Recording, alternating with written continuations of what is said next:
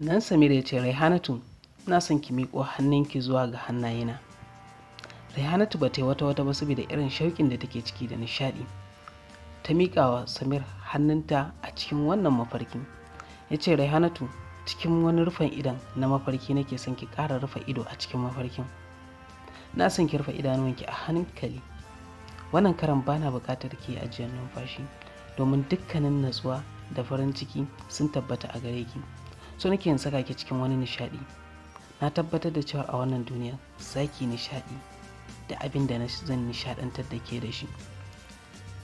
Raihanatu kallon Samir ta yi da kyawawan idanuwanta. Ta ce dukkanin kalan nishadin da kake so ka sani na baka dama. Domin kuwa ni taka ce farin cikinka nawa ne don na san da cewar farin ciki na naka ne. Samir ya ji daɗin wannan batu da Raihanatu ta yi. Ya ce to abin da nake so da ke shine ki kaddara wa kanki da ni da ke gashi mun zauna a wata farar shimfiɗa mai kyau. Gefenta ya taso ya kawo mana iya gwiwoyinmu. Muna tashi sama a hankali a hankali.